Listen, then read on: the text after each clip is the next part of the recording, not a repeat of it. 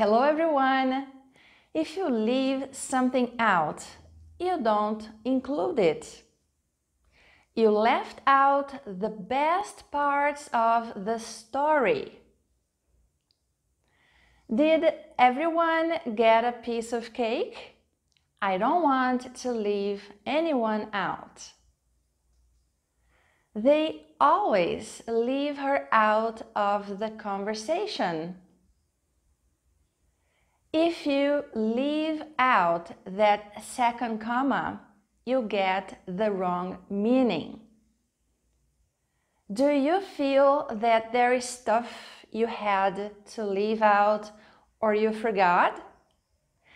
Now, write a sentence using leave out in the comment section below and improve your English.